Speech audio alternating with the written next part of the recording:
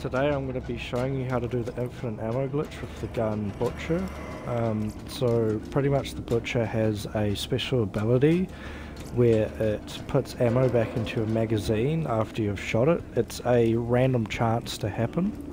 So how the glitch works is you need to shoot the Butcher until you think it's going to proc that ability where it puts ammo back into a magazine and then you need to swap the weapon out and then swap it back to the butcher and then reload the gun and then you should have bottomless clip infinite ammo with the gun. If you could like and subscribe that would be much appreciated and I'll show you right now how to do it.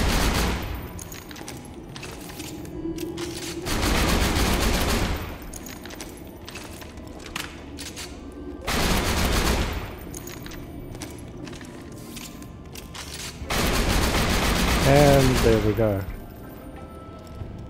So pretty much all you have to do is shoot the gun until you think it's going to proc the ability and then swap the weapon out like I have and then swap it back and then reload and then you should have bottomless clip if the uh, ability has worked.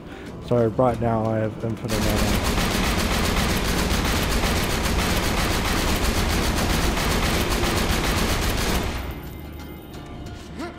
And I hope you enjoyed and I hope you found this video helpful and I'll see you in the next one. Thank you very much.